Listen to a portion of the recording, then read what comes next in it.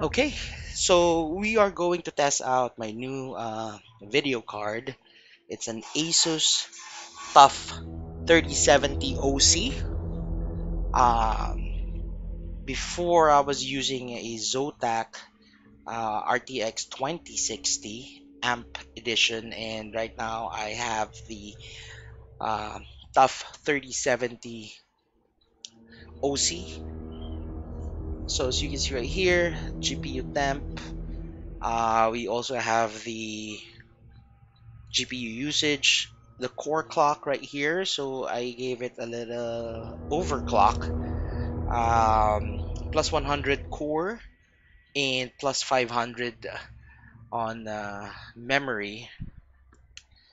And here's the FPS uh, what's something that I've noticed about this card is really it's a fairly cool design when it comes to their cooling for this 3070 I believe it's a little bit cut down version of the 3080 TUF but sufficient and enough to cool you know the GPU very rare that you would see this GPU uh, above 65C um, playing Resident Evil 3 uh, around 63 64 let me show you the settings right here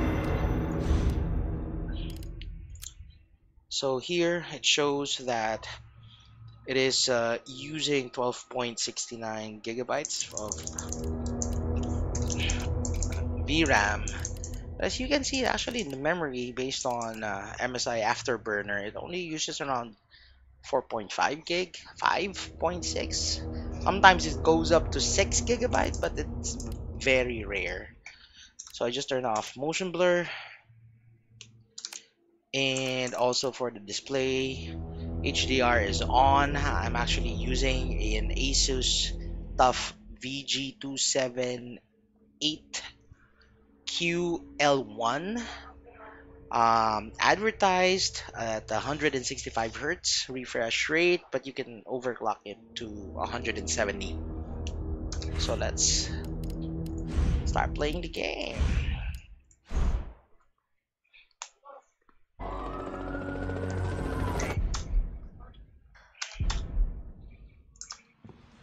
what I like about this video card is it has enough cooling.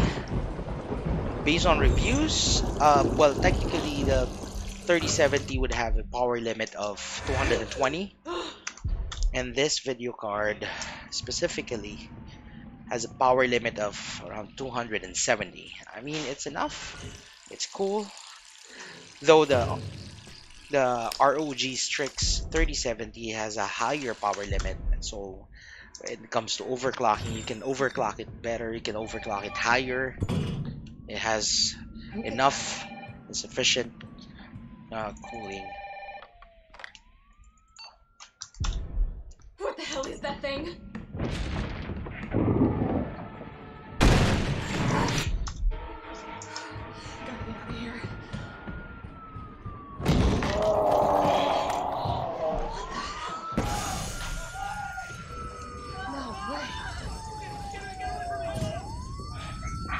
So this is the early part of the game.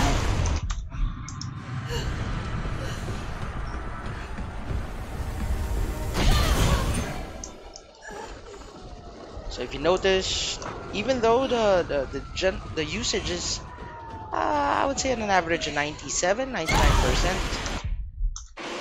I am using uh, Ryzen 5 3600, the non-X. I did not overclock it. It's just straight out of the box performance. Uh, planning to get a Ryzen 5 5600 or a 5800X soon. 16 gigs of uh, RAM, 3200 megahertz, running at CL16. And my motherboard is an Asus TUF X570 uh, plus Wi-Fi. My power supply is a Thermaltake Tough Grand Power RGB 650 watts. Uh, I think it's enough. I mean, it can. It can run this video card really well. Uh, It's just that I was using two PCIe connectors from the power supply connecting it to the video card uh, as much as possible. You don't want to daisy chain the PCIe so that you get enough uh, juice going to your video card and stability, I would say, when you start overclocking the card. So uh, that is much better. You don't you don't have that risk of blowing up and frying your you know any component inside your computer.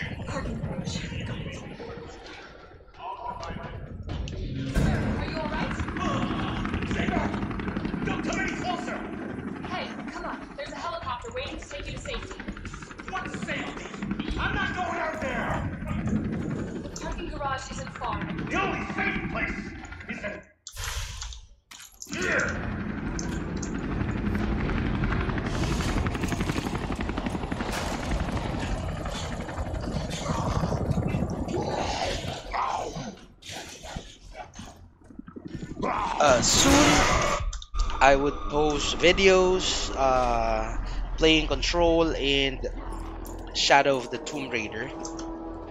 Uh, Shadow of the Tomb Raider uh, at high settings, it's averaging around 120.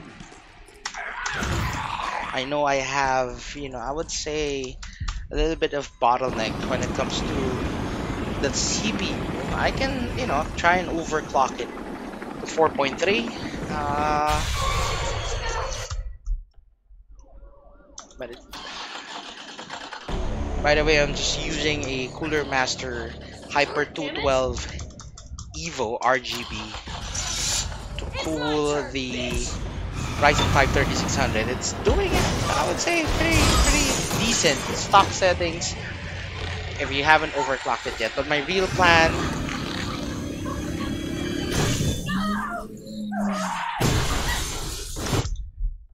is to really get that 5800X or 5600X and get an AIO cooler. 240 millimeter AIO cooler. I think we're in the clear. Hope so. We've been bringing survivors here. Oh, come on. Who's the dipshit that closed this? Sorry, we're gonna have to go around. Hey, what do you know about that monster? Nothing. By the way, my case is a Cooler like. Master F5. If I haven't mentioned it yet, it's a Cooler stop till it Master gets it. Like NR600. No thanks. He's all yours. And uh, airflow is Promise quite okay. I'm with the Umbrella Biohazard Countermeasure Service. UBCS for short. Are you kidding me? My peripherals for this kidding Me? You one, guys are the ones who caused all this. um, whoa, whoa, whoa. using What are you a talking about? Asus TUF You don't have to trust me. K7 I'm going to the optomechanical show. keyboard. You come in? Not really a mechanical keyboard. It's this way. Though for the TUF gaming, they have the the new version, the K3, which is mechanical. The one I'm using is just Opto mechanical, and then I also have an ROG, Asus ROG Gladius, First things first. Gladius We to 2 get your gear. mouse, wired. Head up to street level.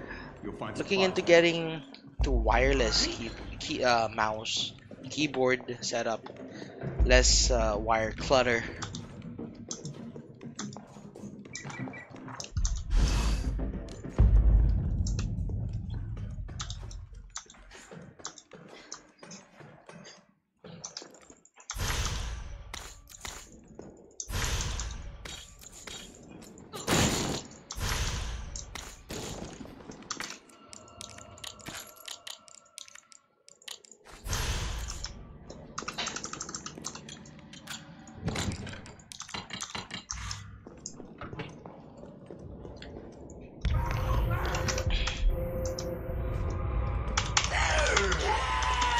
Oh my god.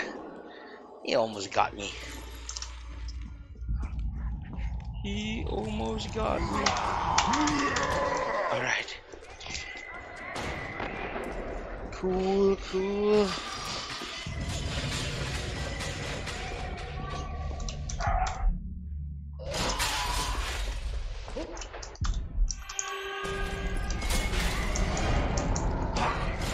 So you wait for them to walk towards you, and when they're near, just blow up the red drum right there to kill all three zombies at the same time. Now for this one, you would want to hit that generator, or I don't know, just to elect electrocute them.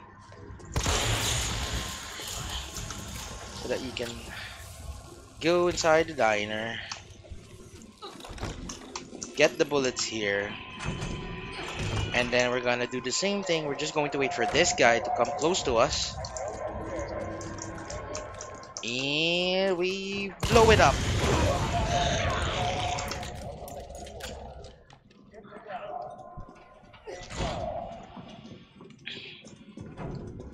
There's a zombie right here to kill this one. Alright. Lucky! Lucky shot. Got a headshot right here. We need to go inside this room. You need to get the grenade. Not this one. But you need to get the grenade. We're gonna use it later to drop the first Nemesis battle so we can get I believe it's the extended magazine for the pistol, Jill's pistol. Go straight here. Get this one. Combine them to get shotgun shells. 937, that's the code that we're going to use later for the scope of this uh, pistol. Make him go there a little bit. Oh!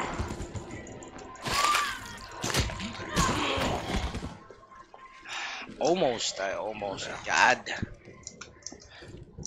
Should have been more careful. Oh, there's a zombie here. Okay, just dodge right past the zombie. Uh, wait, hold on. Uh, let's use this one. And then the code right here is 937. Oh my god.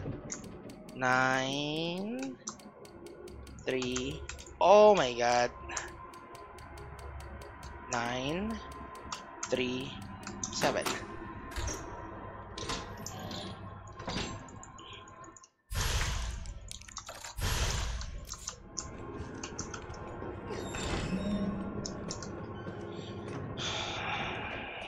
Hey, hold on. I just need to check on some messages here.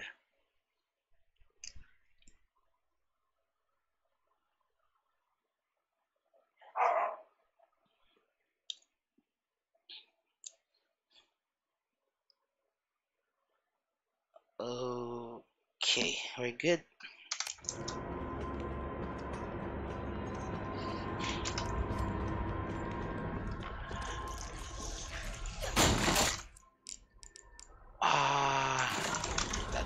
It's supposed to be for the green herb that I used.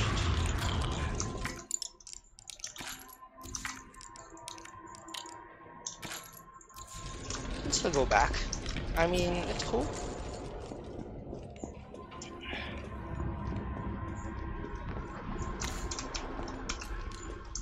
That's just like additional couple of seconds, 30 seconds on your runtime. By the way, for you to get an S hardcore, you need to finish the game at less than an hour and 45 minutes, I believe so. So here we're gonna use the hose.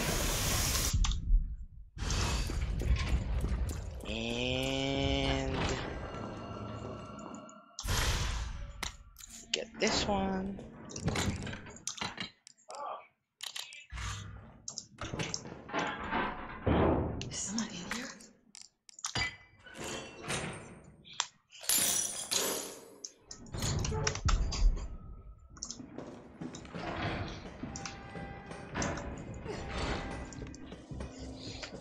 Trick here for the two dogs, you just need for them to, to be close to you and then you just hit the power generator or power strip, I don't know, or like the power something. I don't know what to call that.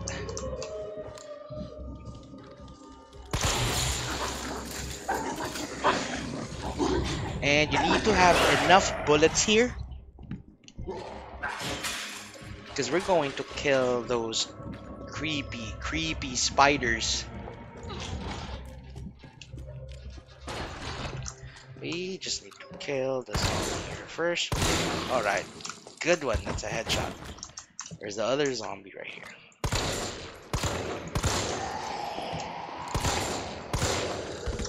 Down him, use the knife.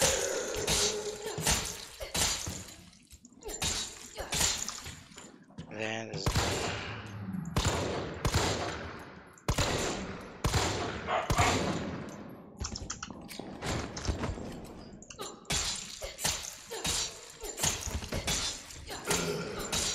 Alright.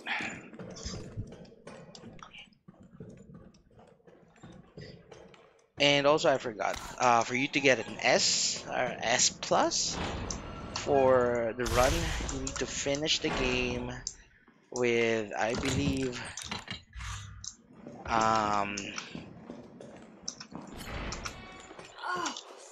less than an hour and 45 minutes and only five saves. You only need to save it five times. Uh, this part is kind of tricky because you need to be careful with those spiders. They're really, really tough. That's why you need to have enough bullets. Get the lockpick here. Oh my god.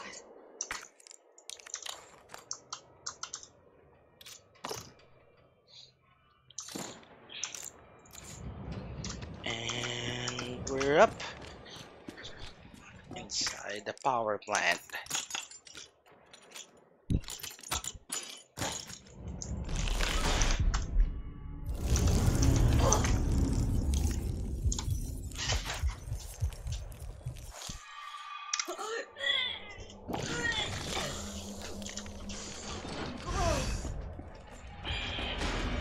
But this one I like. Oh, yeah.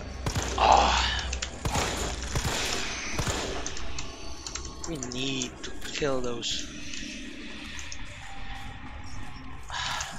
God, creepy.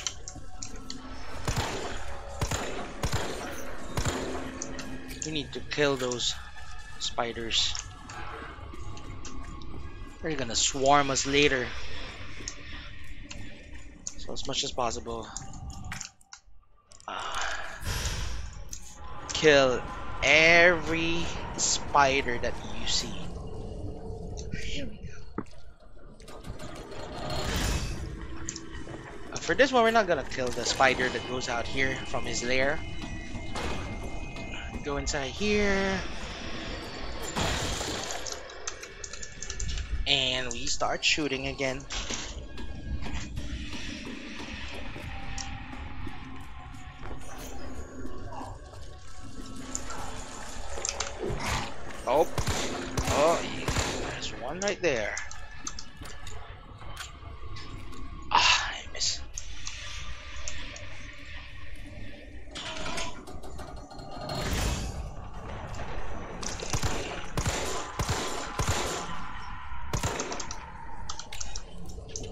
There's two that's going to pop right here. Oh my god! I miss it.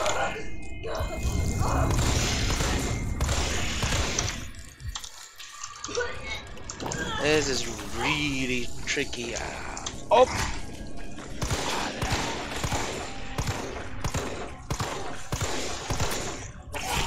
Oh, there's another one right here.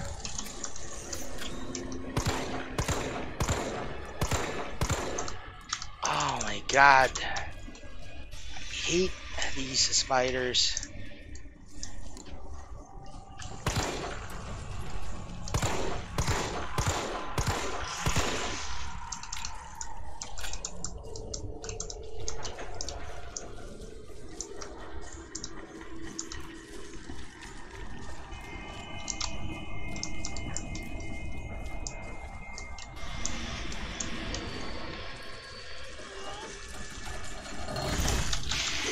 Oh my god, another one.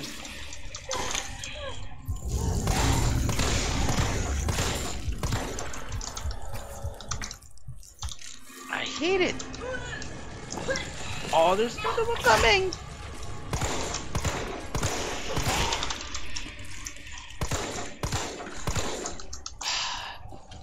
I... Oh my god. Oh. Pretty much dead. That, that's it. That's the gameplay. So far. Need more practice.